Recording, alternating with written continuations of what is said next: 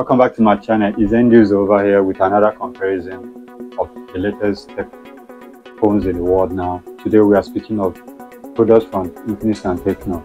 Infinix Zero Flip, the new flip from Infinix. This is their this is their flippable phone. They are easy to enter the market right now, but Tecno are already in the market.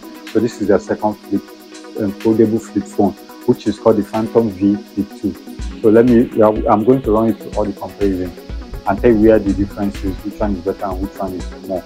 So without further delay, let's jump in. If you're new to this um, to this video or to this channel, please subscribe and share this video to your friends and turn on notifications so you can get my video once I upload it, they will notify you. That it works great and is absolutely free. So let's go. So we discussed from the network, all of them, the two um, mobile and smartphones are all 5G enabled. So I won't tell you GSM, HTTPS, like, you know, just 5G enabled all through. So let's go down. Before coming to the display tab, the display tab, they are using foldable AMOLED LTPO display running on 120 Hz. They have the same display type. So that one is that one is. So they have the same display type. Coming to the size, that's 6.9 inch. Just know that's 6.9 inch. So of them are 6.9 inch. Then coming this is a foldable, their second screen on the cover. The second screen is 3.3.6 inch and his AMOLED display. Two of them has the same thing, no difference, they're the same size.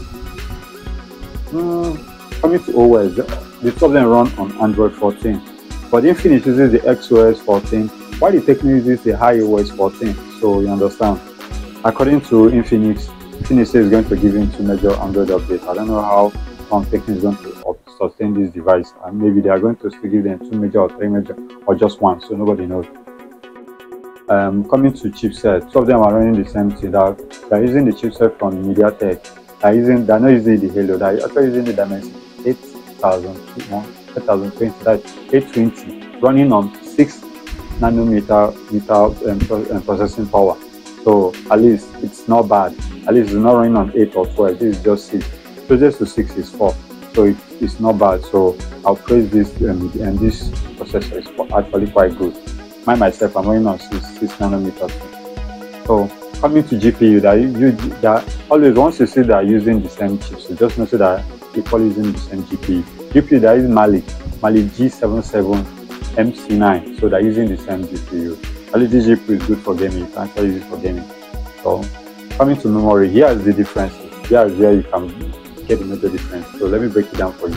Some of them have the same RAM and ROM for the base, but the Tecno don't have any other expansion. It's just stuck on one. Why the Infinix has one more. So them are running on 8 gig RAM. But the difference is that the Infinix Zero Flip has 8 gig RAM 512 and still 8 gig RAM 256. While Tecno Phantom V Flip 2 have only 256 storage with 8 gig RAM. This this is the number one difference. So this is number one difference. So pay attention. They are still going to jam other differences.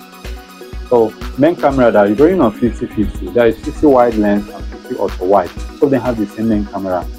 Just watch. But the difference is now is that Infinix has dual flash, while Tecno has single flash. Remember that. Then coming to front camera, selfie camera, there's another place you spot the differences. Tecno has 50, um, 32 megapixel, while Infinix has 50 megapixel.